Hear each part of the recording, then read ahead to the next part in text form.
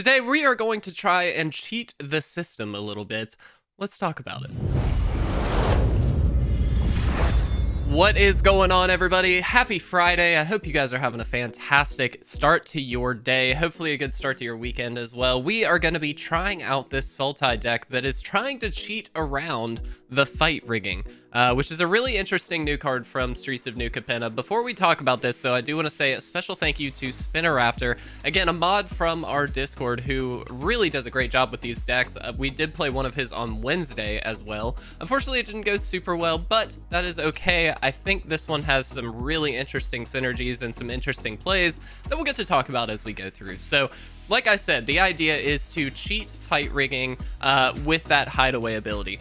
so what I mean by that is this is a three mana enchantment with hideaway five. So when you play this, you look at the top five cards of your deck, you put a card of your choice of those five underneath it, and then if you meet a certain requirement, you actually get to play that card without paying its mana cost. So here's here's the play pattern. On turn three, you throw this down. Uh, you have, hopefully, on the next turn, something like Shakedown Heavy or Egon, God of Death, both of which have 6 power.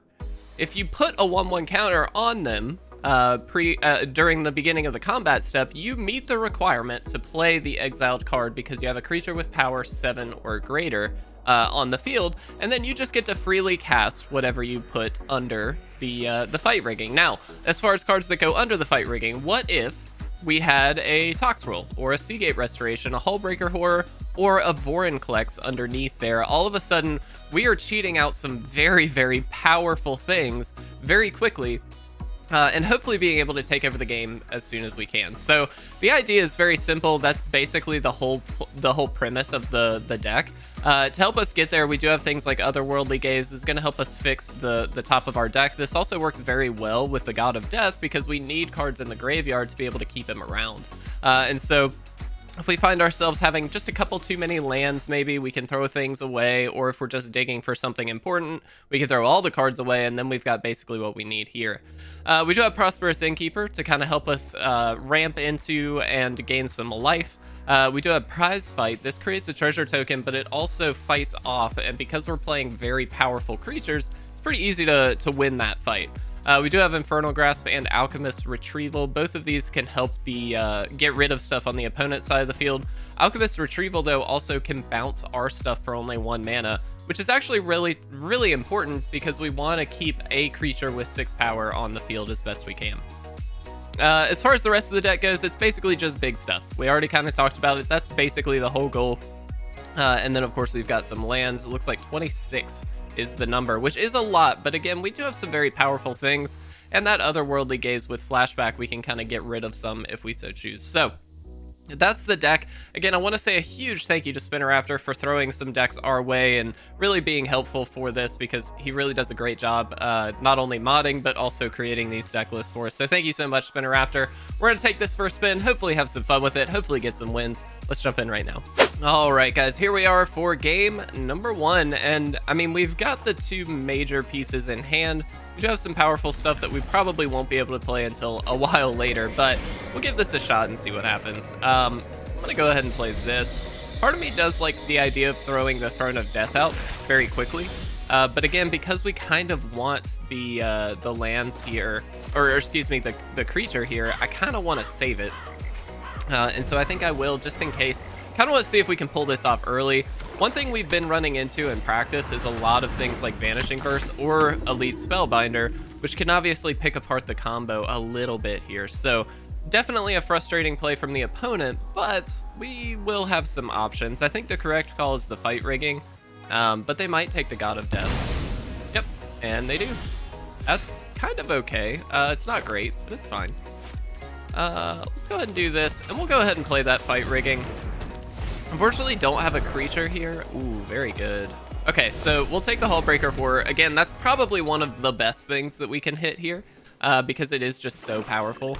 Um, and again, we're only a few mana away from being able to play the God of Death, so we'll see what happens. They may have a Vanishing Verse. I fully expect that at some point they uh, will throw that out on the fight rigging. Oh, they're gonna ninjutsu out. Okay, cool. That's actually kind of fine. Um, okay, so they're going to do this. Uh, they choose a non-land card and exile it. That's very good, but um, not really the end of the world for us. Uh, sure. Wow, another one. okay. Um, well, with that in mind, I mean, I think we just go for it again. Again, don't have a lot of stuff we can do right away, but go ahead and play another God of Death. Um, not great here. Maybe it would have been better to play the fight spell. Uh, not a great hit off of the fight rigging, obviously, but that's okay. Uh, and now, though, what they have to do is if they happen to have a... Uh... Okay, cool. What are they... So... I think we just reveal Hullbreaker Horror. Um, basically now, though, if they do have Vanishing Verse, they have to have two to get rid of both here. So now they're to take, I assume... It might be the turn... I don't know. No, it's the Toxrill. That's interesting. All right, so we are guaranteed next turn to, uh, to have the fight riggings go off, so that's kind of sick. Nice. All right, that's actually really good. Let's go ahead and throw this down. We get to do this. We get to do this. Um, we're to play this this way because obviously we can't have both, uh, which is a little annoying, but that's okay. Uh, unfortunately, we only have one card in the, the graveyard here, uh, which is a little bad for us.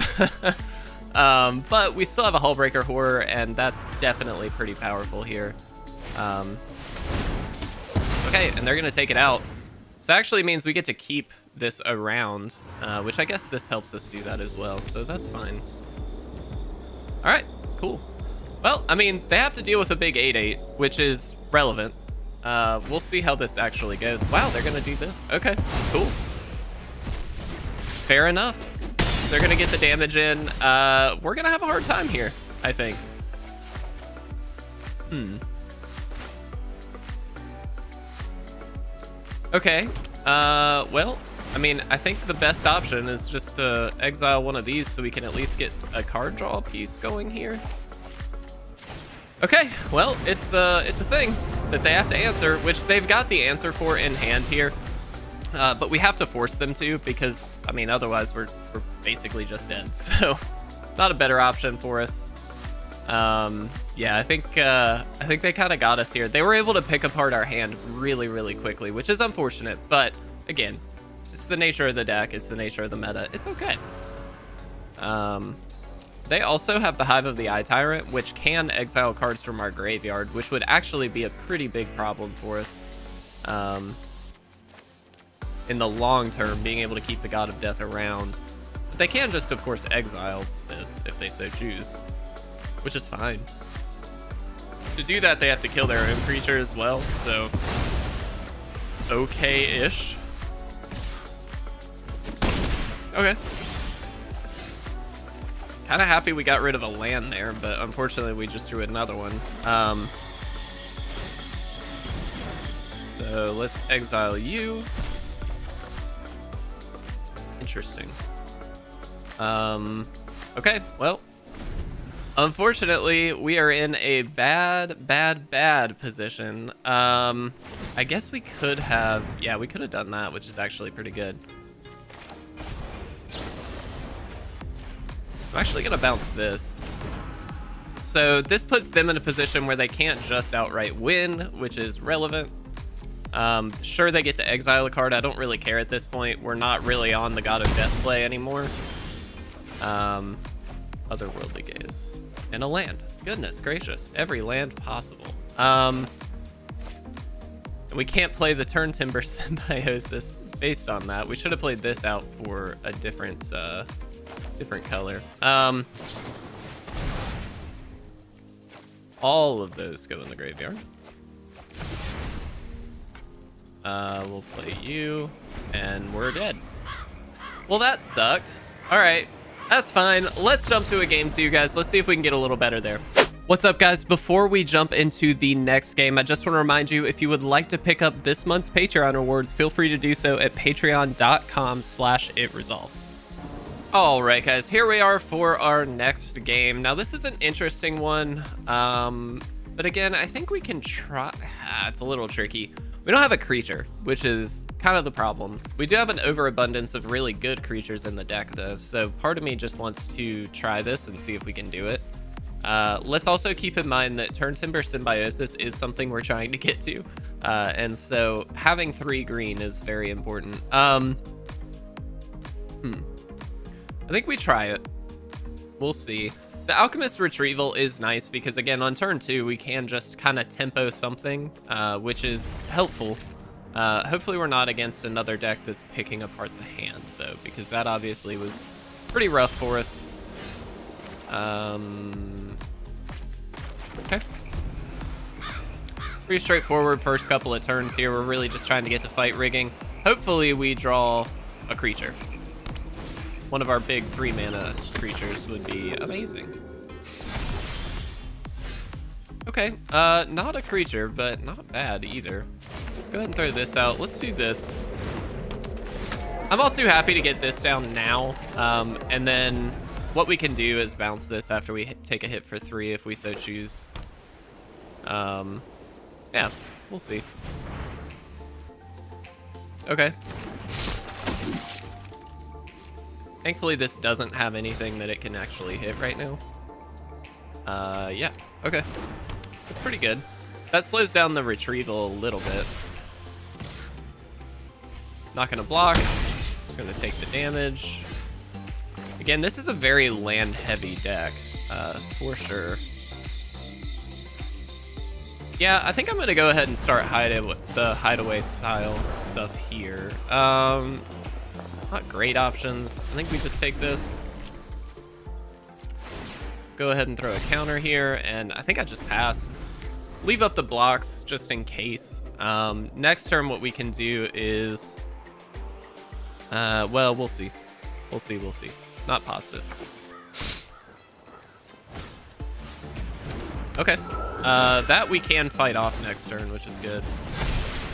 Well, any of this we can fight off next turn. Wow, okay. So we take nine? okay. we're just getting our butt kicked. Uh, Spinoraptor, I feel bad, man. I feel like we're not doing you justice. Um,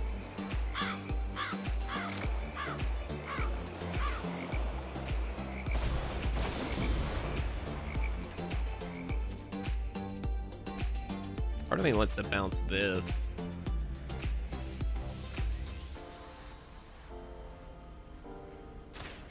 Think I will.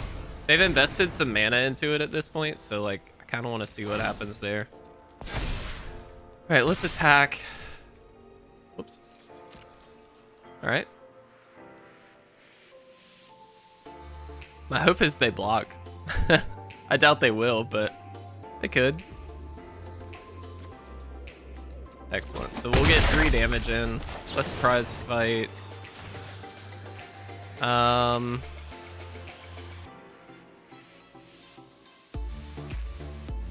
Hmm. I guess it's the Sentinel. Really not sure there. But I think we have to fight something off. Um, and unfortunately, they can just, like, go for this once more. Which is, what, five, six, seven, eight. So they just win. Man, we're getting our butt handed to a Spinoraptor. What is this? All right, let's go for a game three. Let's see if we can do it. All right, guys, here we are for our third game. Uh, this is a keep. We've got our Shakedown Heavy plus our Fight Rigging. So this could work. Uh, I kind of hate that we've got Sea Gate Restoration in the opener because I would love to get that under the Fight Rigging, but that's okay. Um, I think, honestly, I'm just going to throw this out.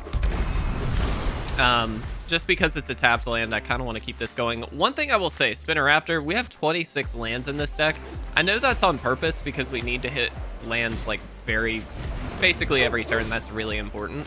However, it feels a little bit like, a little bit too pushed. I don't know that we need quite so many.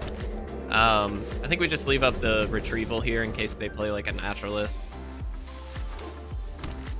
Sure.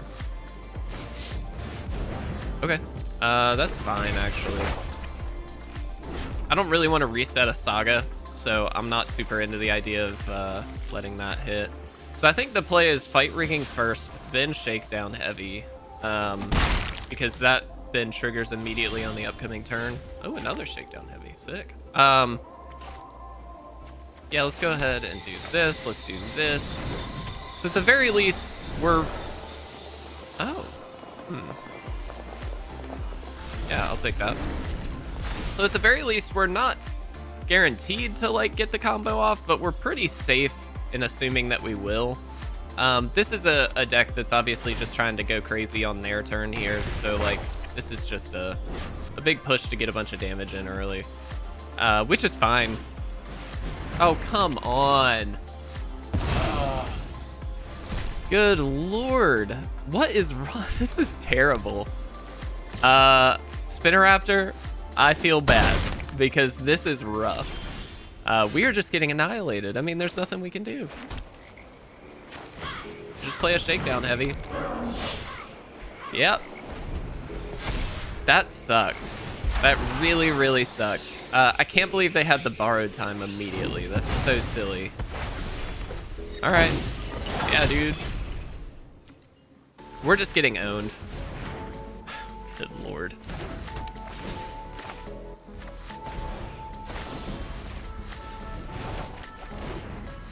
I am so upset right now. I can't believe this. I mean, we're just getting annihilated. We've got so many lands in the deck that we're just getting owned with our top decks because we just have 26 lands. Like, we don't have anything we can do. I mean, yeah. I assume they've got more removal. No, but they do have a Weaver. That's very good. Oh my gosh. All right, well, we're gonna give this one more game, guys. We're seeing if we can do it. We're only at 18 minutes here anyway, so let's see if we can get one win with this deck. All right, guys, here we are for our last game. We are not playing another one after this. Do we keep, um, based on the fact that we've got a million lands in our deck, yes, because we can shakedown heavy and, uh, use the, the prizefight to deal with some stuff. We also have Infernal Grasp, so, like, we can deal with some stuff that way. All right, there's the land. That's what we wanted. Um, play this out for green since we'll need the green. What do we want? Probably just fight rigging. Yep. Mm. I think I just pass. I don't think we have to pull that trigger quite yet. Uh, let's do this. Let's do this. I'd like to be able to save the Infernal Grasp for something that's a little bit more permanently gonna die. Um, because it's a little tricky to, to kill that for sure.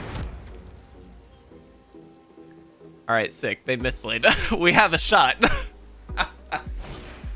uh, that was just a bad play on their end. I don't know why they uh, did that. I mean, that's fine. All right, cool. Um,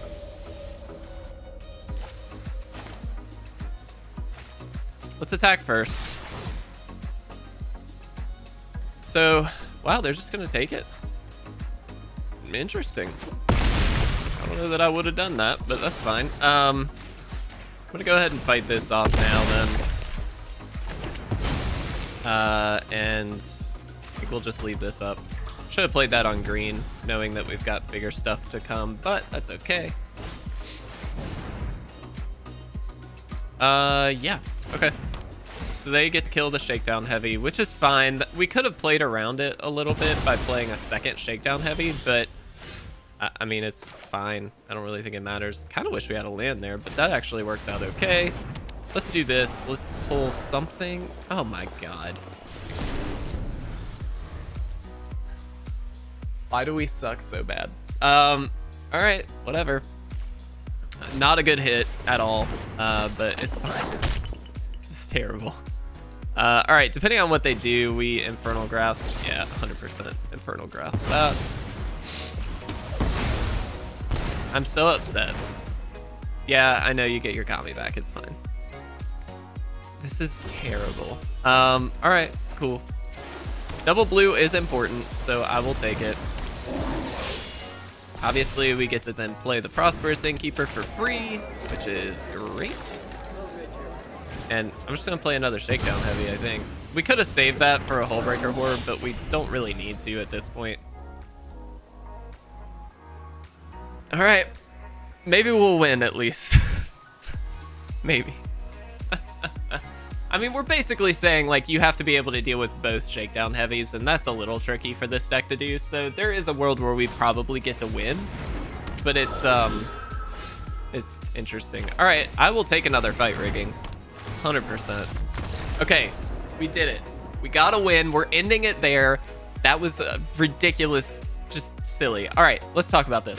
All right, Spinoraptor. So unfortunately, out of four games, we only got one win. I don't know what's happening lately, man. The decks that you've been sending look really good, and we just have either had bad matchups or bad luck or whatever. But I do really like the concept of this deck, which is to cheat the fight rigging into uh, that hideaway mechanic, which is really fun. I think hideaway being ret a returning mechanic from, gosh, I think Lorwyn block was the initial hideaway mechanic uh, introduction.